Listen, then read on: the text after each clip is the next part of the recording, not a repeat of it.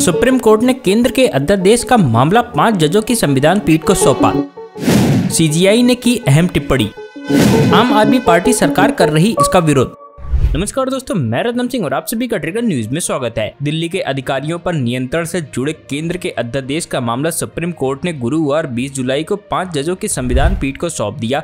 Chief justice ने कहा कि इस बात पर लंबी सुनवाई ज़रूरी है कि सेवाओं को अध्यादेश के ज़रिए दिल्ली विधानसभा के दायरे से बाहर कर देना सही है या नहीं। ये अध्यादेश केंद्र सरकार ने बीते 19 मई को जारी किया था। दिल्ली के एलजी की ओर से पेश हुए वरिष्ठ वकील हरीश सॉल्वे ने सुनवाई के दौरान कहा कि संसद में बिल पेश हो जाने के बाद अध्यादेश के मामले पर विचार की ज़रूरत ही नहीं रहेगी। इस पर सीजीआई ने कहा कि हम तब तक इंतज़ार नहीं कर सकते। दिल्ली सरकार के वकील अभिषेक मनु सिंघवी ने संविधान पीठ में में जल्द सुनवाई की मांग की जिस पर चीफ जस्टिस डीवाई चंद्रचूड़ ने कहा कि आदेश शाम तक अपलोड किया जाएगा। उसमें सुनवाई की तारीख भी बताई जाएगी। अरविंद केजरीवाल के नेतृत्व वाली आम आदमी पार्टी सरकार में नौकरशाहों की नियुक्ति और स्थानांतरण से जुड़े इस अध्यादेश का विरोध कर रही है।